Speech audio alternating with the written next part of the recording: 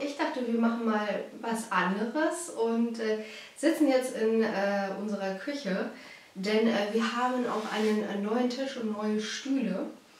Und äh, da der jetzt auch ein bisschen größer ist, dachte ich, trifft sich das ganz gut.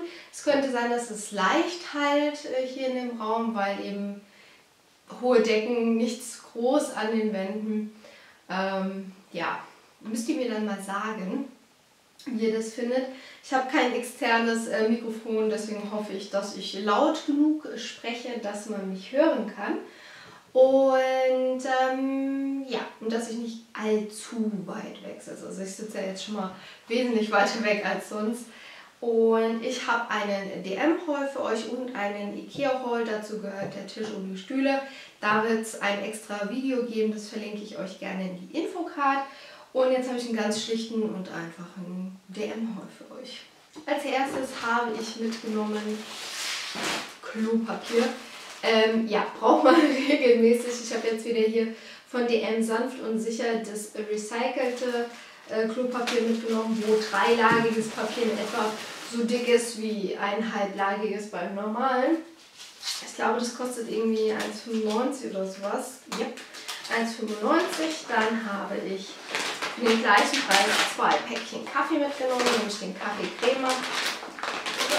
So schaut der aus. Und da sind 18 Pads drin pro Packung. Ähm, ich trinke ihn ganz gerne. Er ist nicht zu kräftig, er ist aber auch nicht so, dass ich sagen würde, dass man nichts davon merkt, wenn man noch ein bisschen Milch reinpackt. Und ähm, ja, den holen wir eigentlich regelmäßig wieder und den nimmt auch Marvin gerne mit auf die Arbeit. Dann habe ich noch eine Packung auch von Soft und Sicher recycelte Taschentücher mitgenommen. Das ist wirklich so mein Allrounder. Wir haben sowas, so ein Päckchen im Wohnzimmer stehen und ich habe eins am Bett stehen, weil Allergiker, meine Nase läuft immer. Und ähm, ja, ich fülle die normalerweise gerne, also gerade im Wohnzimmer, um in einen anderen Karton, beziehungsweise in so ein Plastikteil von äh, Chibo.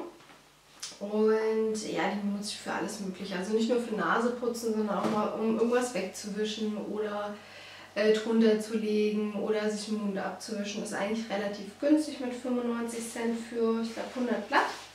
Dann habe ich meine Jacke hier drin gehabt. Und ähm, dann ist mir das gerade runtergefallen, meine Jacke. Habe ich noch mitgenommen von Denk mit diese Spültabs, also ich bin schon arg weit weg, also ich hoffe, ihr kennt noch irgendwas.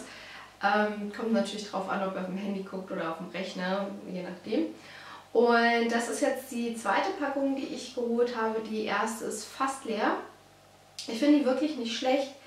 Ähm, ich benutze trotzdem noch zusätzlich, weil wir das noch übrig haben, ähm, Salz für die Maschine und das werde ich auch weiterhin machen, weil wir hier sehr kalkhaltiges Wasser haben. Das ist, denke ich, immer eine gute Sache. Und einen Klarspüler, ob ich den weiterhin brauche, mal gucken. Also wenn der dann leer ist, schaue ich einfach mal. Aber die finde ich ganz gut. Die kosten 2,85 glaube ich.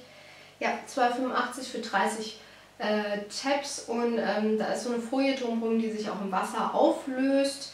Theoretisch braucht man eben kein äh, Salz oder ähm, Klarspüler, aber ähm, ja, ich mache das trotzdem immer noch mit dazu. Hier steht auch nochmal hinten drauf, bei hartem Wasser sollte man dann doch nochmal das Salz dazu benutzen und ähm, wie gesagt, das mache ich auch im Moment, weil sonst gibt es nämlich Kalkflecken. So gibt es keine und die Maschine wird geschont.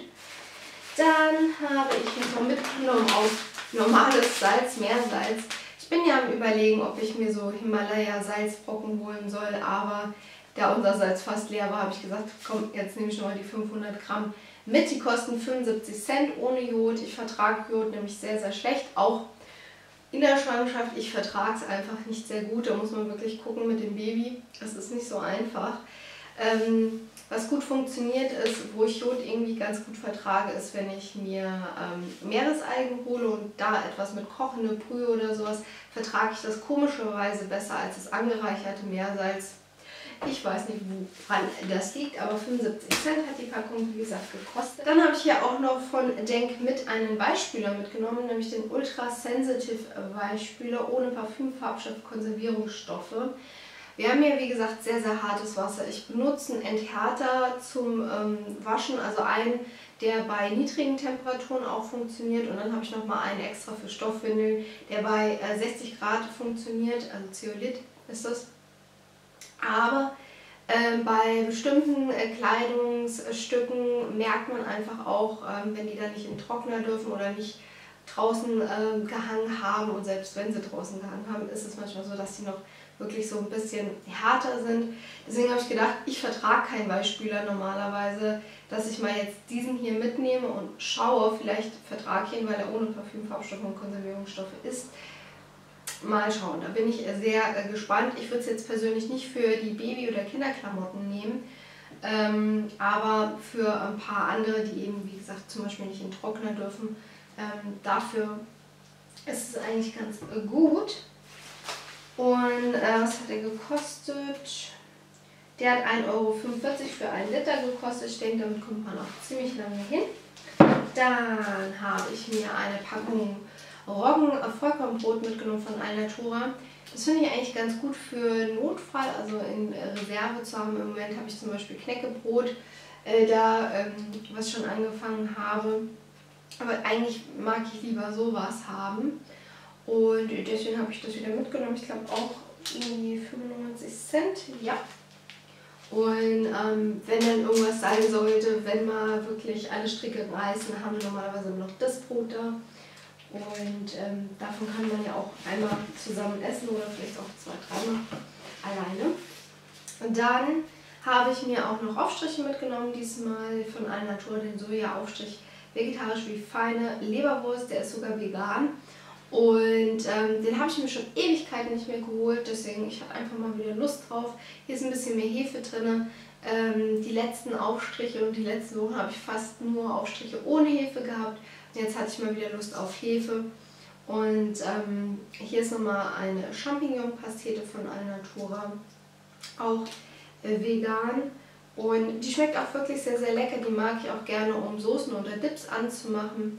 Oder auch, äh, wenn ich einfach nur ein paar Nudeln äh, schenke in, in Öl, dann kann man auch das dazugeben, um dem Ganzen noch so eine gewisse leckere, cremige ähm, ja, Soße hinzuzufügen, ohne wirklich viel Soße zu haben und halt auch noch diesen Champignon-Geschmack. Funktioniert auch mit den anderen Sorten sehr gut. Und ähm, die haben jeweils 1,65 gekostet. Und dann habe ich auch noch was mitgenommen, was ich eigentlich nicht mitnehmen sollte. So, Make-up-sammlungstechnisch wisst ihr ja, ich habe äh, meine Nagellacke aussortiert und ja, über 200 Nagellacke gehabt und ich habe immer noch um die 140 und ähm, ich konnte aber bei dem hier wirklich nicht widerstehen. Ich musste ihn haben sagt man immer, oder?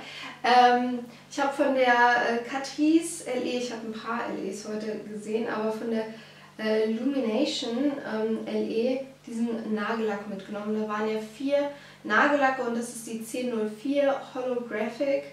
Ähm, das ist ein Grauton, der aber so lila-orange changiert, beziehungsweise auch pink und gold. Ich finde den total spannend. Also so einen Lack habe ich zum Beispiel gar nicht. Ich bin zwar auch nicht der Grauträger, aber eben weil der so speziell ist, wollte ich ihn einfach ausprobieren. Und ähm, allein optisch macht er schon was her. Ich zeige euch den gleich mal in der Nahaufnahme. Ich glaube 2,75 kosten die Nagellacke oder sind die teurer geworden? Ich muss gerade mal schauen. Oh, okay, so viel zu 2,75. Also früher haben die 2,75 gekostet. Der hat 3,45 Euro gekostet das äh, hätte ich das vorher gesehen, hätte ich ihn vielleicht nicht mitgenommen. Also, schauen wir. Bin mir jetzt nicht sicher, ob man den gut erkennen kann oder ob man eher meine trockenen Hände erkennen kann. So schaut der aus und der changiert halt wirklich extrem.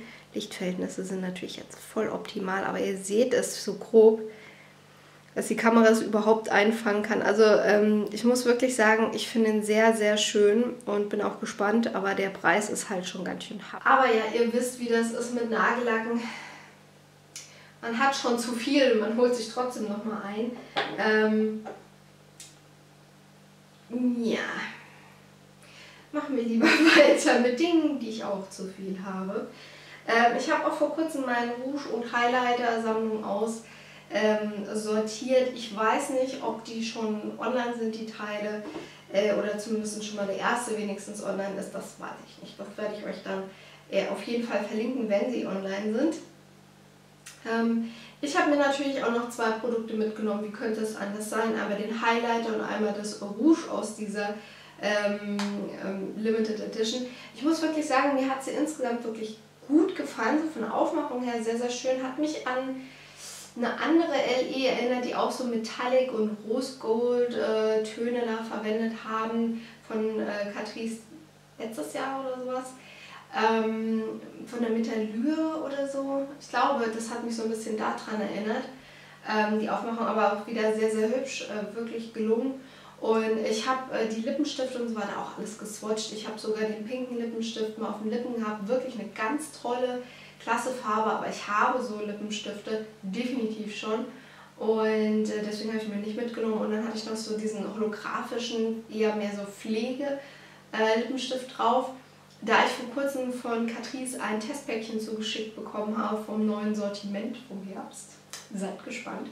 Ähm, da ist sowas ähnliches mit dabei, habe ich mir das auch nicht mitgenommen. Was ich aber mitnehmen musste und da hat nun mal kein Weg dran vorbeigeführt, waren einfach diese beiden. Das war der letzte Highlighter und zwar ist das äh, die 1001 Luminous Light. Das ist ein wirklich sehr, sehr schöner gebackener Highlighter. Der kostet 4,95 glaube ich. Ja, ist wirklich wunderschön. Ich komme gleich nochmal näher dran und zeige euch den. Und ähm, hier sind 9 Gramm drin, das heißt, ihr habt viel Produkt, ihr könnt damit wirklich sehr schön highlighten. Ähm, mir hat er einfach sehr, sehr gut gefallen. Das Einzige, was ich jetzt an der Verpackung nicht mag, ist, dass sie so ein bisschen quietscht bei mir. Aber ja, ich zeige euch den gleich nochmal von nahen, genauso wie den Rouge. Ähm, das ist auch nur eine Farbe gewesen. Also es gab noch einen Bronze, einen gebackenen den ich äh, nicht wirklich brauche. Ich brauche keinen Bronzer. Ich habe einen einzigen Bronzer in meiner Sammlung dabei wird es auch hoffentlich bleiben. Äh, das äh, Blush ist ein ganz normales Puderblush, hier sind 4,5 Gramm drin, was ich endlich mal auch gut finde, weil ich bin ganz ehrlich, bei Highlightern ist es so, man nimmt auch wirklich mal ordentlich, vor allem wenn die nicht zu stark äh, äh, scheinen, sondern wenn es wirklich so eine ganz schöne angenehme Sache ist, wo man dann teilweise highlighten kann, hier aber auch mit Dekolleté highlighten kann und dann nimmt man auch mal einen großen Pinsel. Bei Rouge ist es so, ich möchte eigentlich gar nicht so äh, 10 Gramm Rouge haben oder sowas, weil ich immer finde, ich brauche den dann nie auf.